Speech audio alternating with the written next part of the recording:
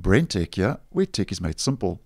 So the first feature update for Windows 11 version 22H2 is expected to be rolling out quite soon, possibly in October. And as many of you know, Microsoft does have its own PC Health Check app um, that lets you see if your Windows 10 device meets the system requirements to be upgraded to Windows 11.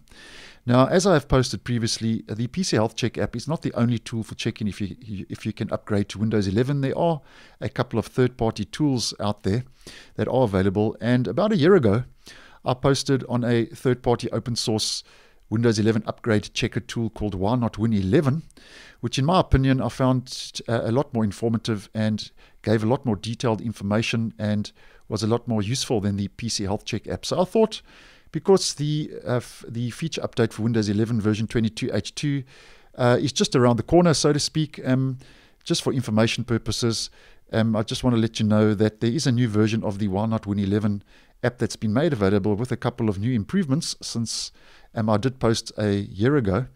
And the new version um, includes an updated processor list.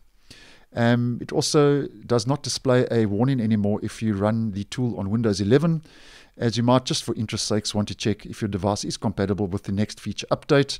But if you are running Windows 11 at this stage, it goes without saying that you will be getting the next feature update because Microsoft at this stage has not announced any changes to the system requirements from the original release version 21H2 to the feature update version 22H2. So at this stage, using this tool will really just be for information purposes. So if you'd like to um, download the tool, just head over to GitHub um, where the tool is maintained and developed. And uh, um, I will leave a link to this uh, web page down below as um, it will just give you some extra information and the download link will also be available. So those changes are, and the new version is 25001, not 22H2, which I think is uh, quite uh, funny.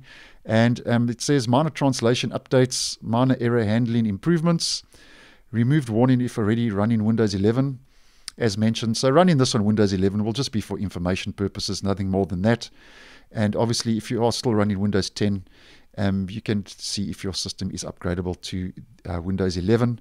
And then, as mentioned, they've updated AMD, Intel, and Qualcomm processor lists. And if you'd like to um, download the tool, just head down to the bottom of the page and you can download the exe file, which will let you actually do an actual install of the tool on your system.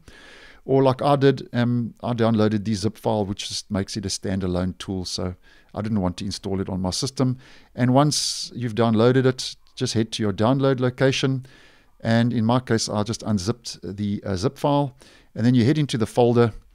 And to launch the tool, just click on Why Not Win 11. It'll take a second to launch. And just be aware, though, and take note that your smart screen will uh, generate an error. Just click through that um, it's not malicious. It's just, it's just that the uh, tool is not known to Smart Screen on the Windows and in the Windows operating system, but it is a totally safe tool, as I have mentioned previously. And uh, um, as you can see, um, it's telling me my computer doesn't meet the system requirements. And um, the version, as mentioned, 2500, you can check for updates, and it'll tell you I'm already running the latest build. And if you see any red squares with the X, obviously that means you cannot upgrade if you are running Windows 10. And if everything's um, all green, that systems go, you will be able to upgrade. And it provides a lot more information on the right hand side here. So, as an example, my CPU, the CPU you have installed uh, in your computer compatibility is subject to change.